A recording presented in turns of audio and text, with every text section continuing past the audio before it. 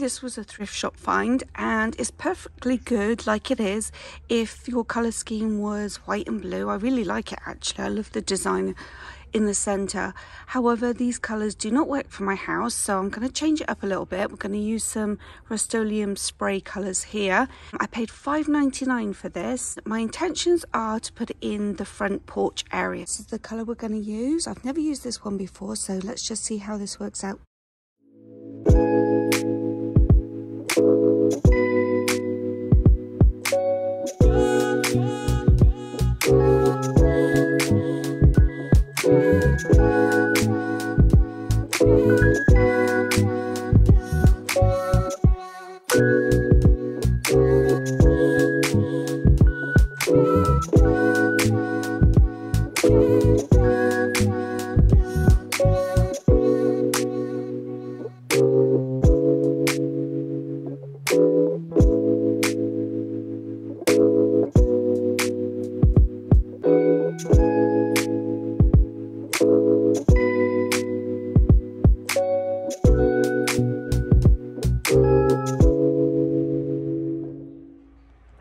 Okay, so there was a turn of events for this piece. I'm not going to lie. As you can see, you can see some of the blue peeking through. Now, when I took the blue masking tape off after um, painting, it left a sticky residue. So I thought to myself, well, let me go get some Goo Gone and I'll remove it. And as I removed it, it removed some of the copper paint underneath. And my immediate reaction was, I've got to respray it copper again. But as I looked at it, I actually really liked the blue coming through. So I took some more off and this is the end result. And it matches perfectly with my rafters up there. So, project completed, project happy.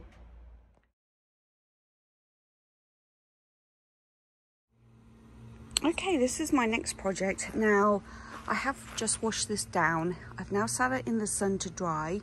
The sun is now coming up. It's about seven o'clock in the morning now.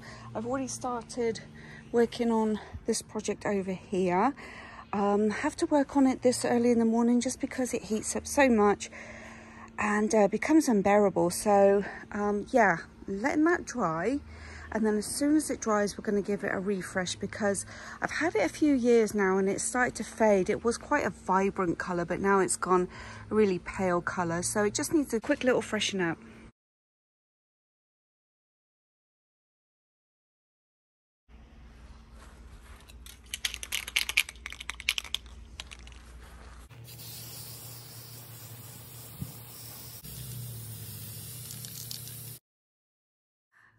Guys, I've run out of paint, so I thought it would have been enough, one can to do a coat on the car and two coats on the frame that I've been doing. But alas, no, I've run out, so I'm gonna have to pop to Home Depot. I got changed into a, a cleaner t-shirt. Um, so I'm gonna pop to Hop, Hop Dino. Hop Dino, Hop Dino, no, no. Home Depot and go buy another can. And hopefully, fingers crossed, they've got another can because Otherwise, I don't know what I'm going to do. So Home Depot did have another can and it's called Kona Brown and it is glossy and it covers wood, metal and plastic. So, oh, and more apparently. I don't know what the more is, but anyway, I'm happy they did have another can.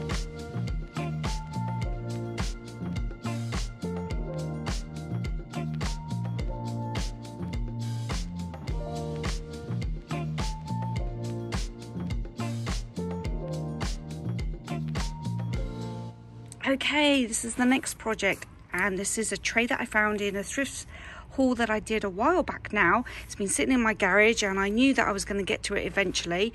So today is the day. We are going to spray this um, all over. The underside's black, so I'm not going to do that. I did just give this a wash. Um, I paid $6 for this. Um, let me turn it over actually and let that side dry. Um, and then we're going to give it a quick spray. Okay, so this is just a teeny bit tacky, which I think is a good thing because I'm going to lay this stencil on top. I've never used a stencil with a spray before. I've always used it with um, paint. So I don't know if this is going to leak and like be really blotchy. But um, yeah, it's just a teeny bit tacky. And you can kind of see, I don't know if you can, if the video is picking up, but um, there is a raised edge of where that painting was. But hopefully this will kind of diffuse that and cover it up. So this should fit just right. Maybe I need to cut the corners off real, just a little bit.